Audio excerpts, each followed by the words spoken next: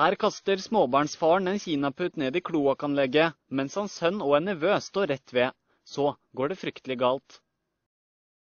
At det var eksplosive gasser under kumlokket, var nok ikke småbarnsfaren klar over. De tre ble kastet flere meter unna, men klarte seg med livet i behold. Faren som tente på kinaputten, ble sendt til sykehus med alvorlige brannskader. Tilstanden til mannen skal fortsatt være kritisk.